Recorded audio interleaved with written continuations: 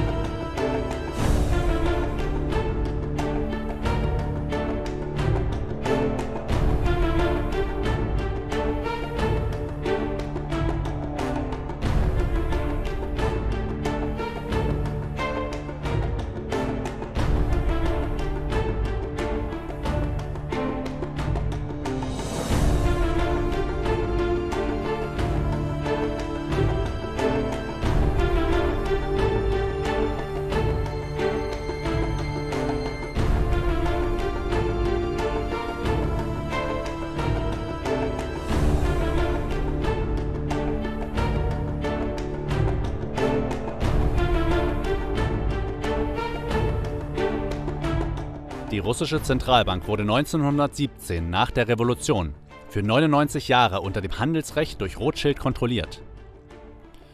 Dieser Vertrag ist 2016 ausgelaufen, aber Rothschild kontrolliert die russische Zentralbank faktisch weiter.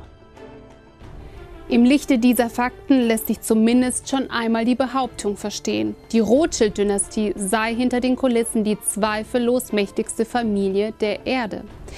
Deren geschätzter Wohlstand belaufe sich auf 500 Billionen Dollar. Kein Mensch kann diese Zahl noch rational erfassen, denn eine Billion sind eine Million mal eine Million. 500 Billionen Dollar wären dann ja 500 Millionen mal eine Million Dollar. Eine 5 mit 14 Nullen also. Freilich ist es daher ein Ding der Unmöglichkeit, diese geschätzte Summe stichhaltig zu belegen. Es verhält sich mit Vermögenswerten dieser Größenordnung wie mit den Urtiefen des Ozeans. Sie steigen und sinken jeden Moment in unfassbaren Mengen.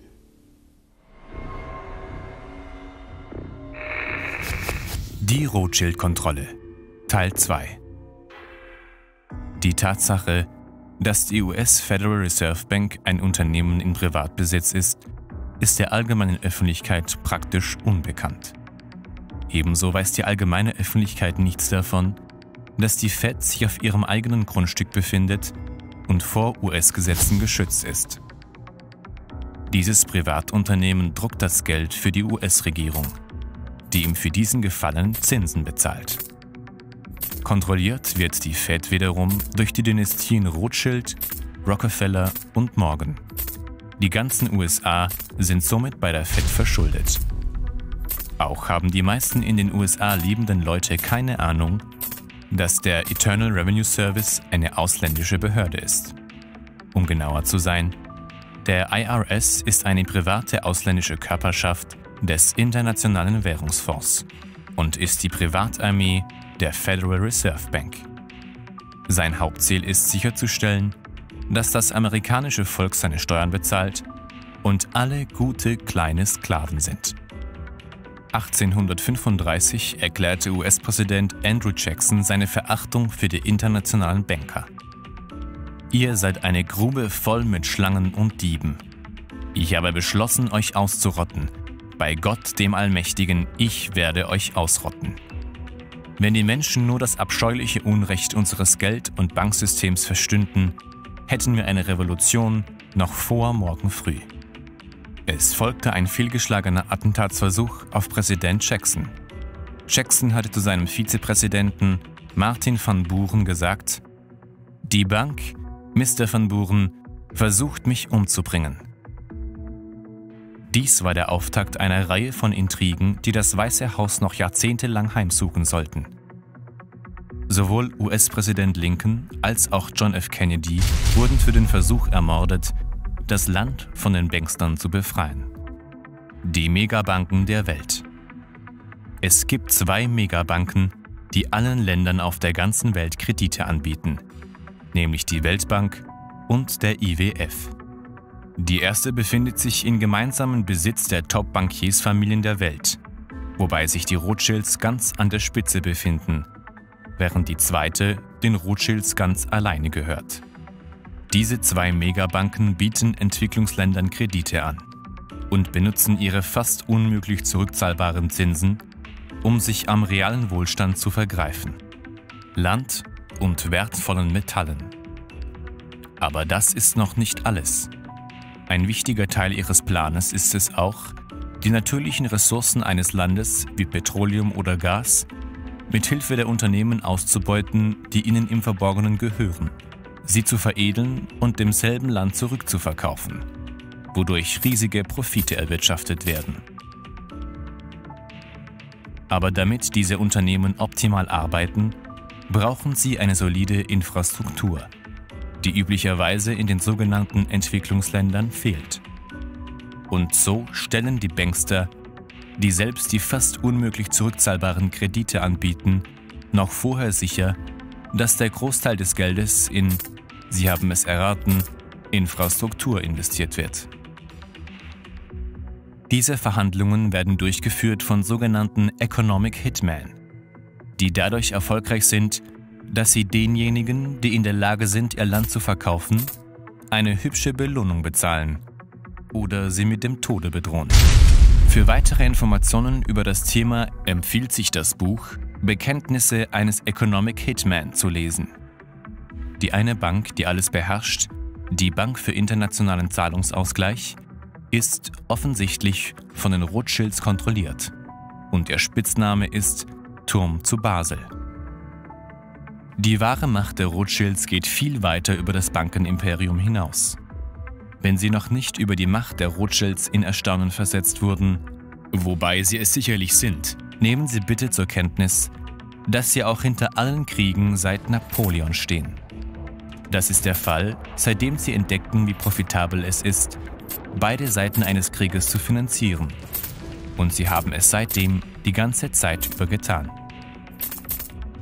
1849 sagte Gutle Schnapper, die Frau von Meyer Amschel Rothschild, wenn meine Söhne keine Kriege wollten, würde es keine geben. Und so ist die Welt im Krieg, weil es für die Rothschilds und ihre parasitären Bankster-Verbündeten sehr, sehr profitabel ist. Und solange man weiterhin ihr Geld benutzt, wird die Welt niemals in Frieden leben.